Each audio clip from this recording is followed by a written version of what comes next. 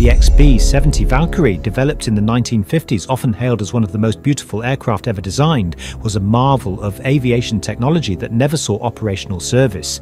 This supersonic strategic bomber was intended to be a high-altitude nuclear-armed deep penetration bomber capable of reaching Mach 3 speeds. The XB-70 featured a unique delta wing design with a length of 185 feet and a wingspan of 105 feet. Its most distinctive features were the drooping wingtips that would fold downward during high-speed flight to improve stability and performance performance. One of the most tragic anecdotes associated with the XB 70 program occurred on June 8, 1966, during a photo flight featuring several aircraft from General Electric's flight test program. An F 104 starfighter piloted by Joe Walker collided with the second XB 70 prototype.